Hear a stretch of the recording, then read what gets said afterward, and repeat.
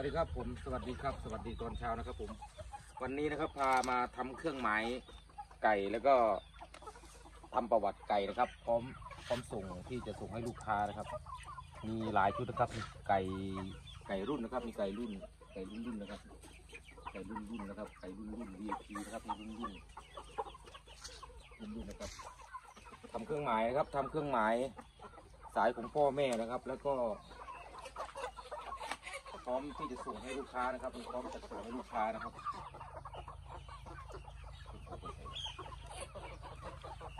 นะครับผมชุมครับชุม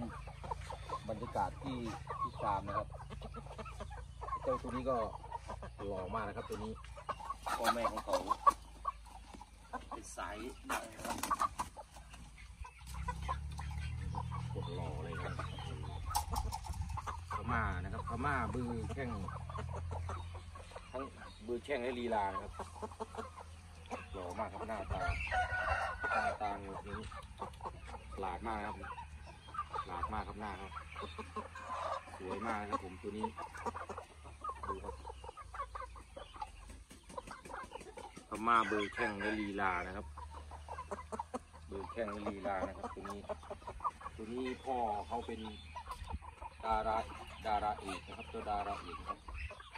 อันนี้สายดาราเอกนะครับสายดาราเอกโอ้ดาราเอกนะครับ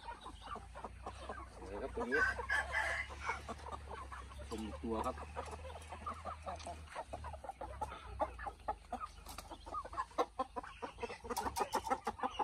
ตัวนี้จะเป็นสายนะครับฟ้านะครับฟ้าสงแสนนะครับตัวนี้สวยเหมือนกันครับ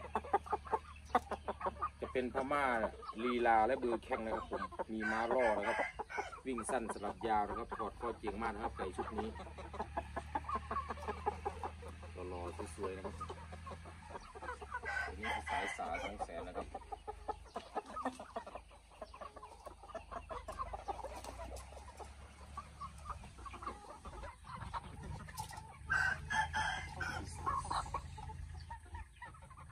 ให้ดูอีกทีนะครับ